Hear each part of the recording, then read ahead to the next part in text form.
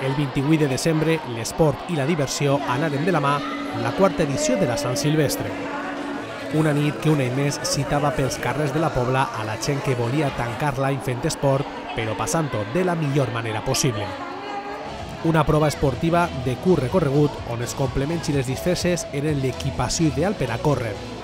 Per quart any, la Sant Silvestre va estar organitzada per l'Associació de Comerciants, el Club d'Atletisme i l'Ajuntament de la Pobla.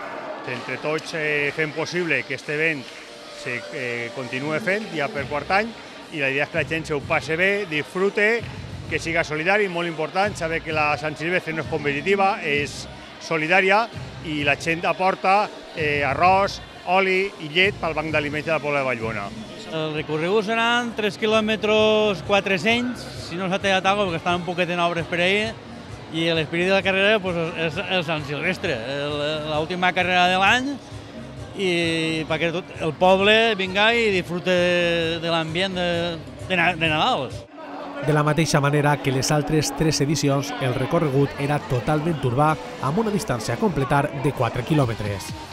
L'art d'eixida i meta estava situat al mercat i baix la seva coberta se citaren els participants per tal de poder formalitzar la inscripció i la replegada del dorsal.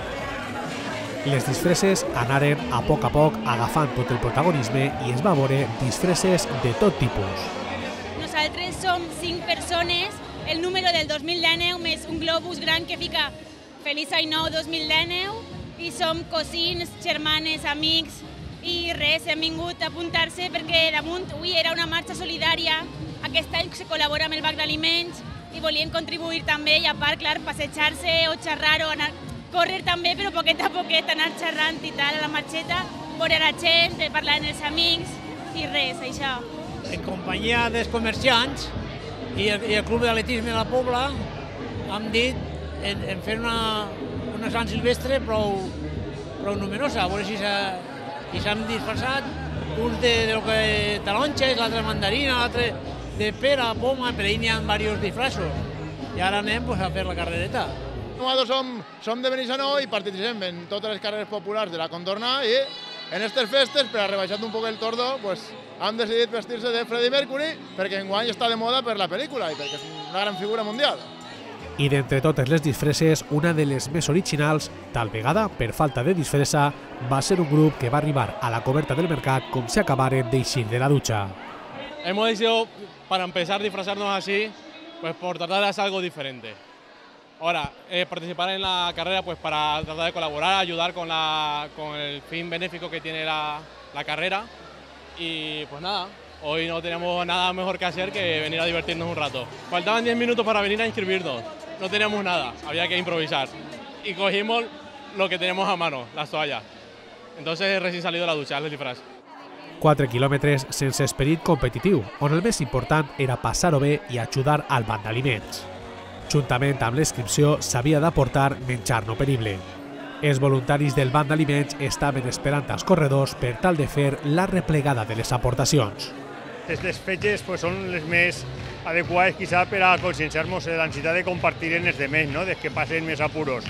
I sobretot perquè els nanos i els jovens pues, adquirisquen aquesta cultura de, de pensar en el que està al costat de i fora l'egoisme i dins la solidaritat.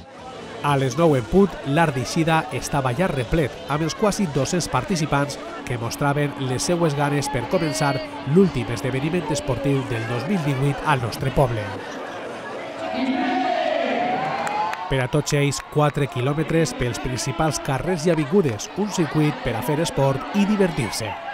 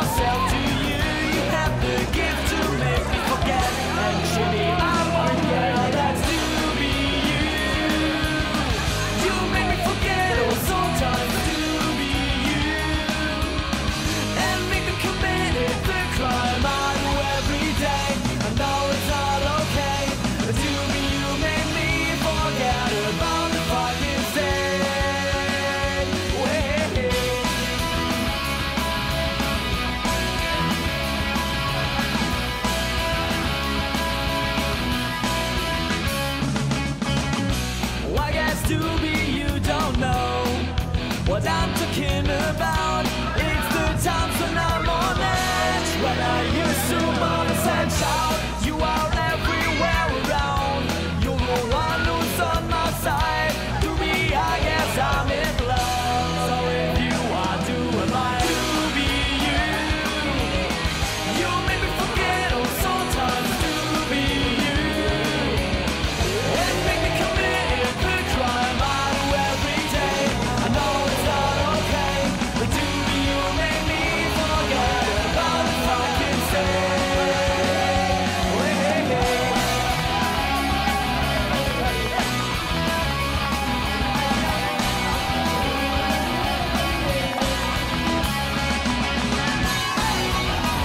Per als participants, el premi en arribar a la meta va ser un got calenter de xocolata amb fartons, el millor premi possible a aquestes hores, ja que els ajudava a recuperar forces i no passar fred.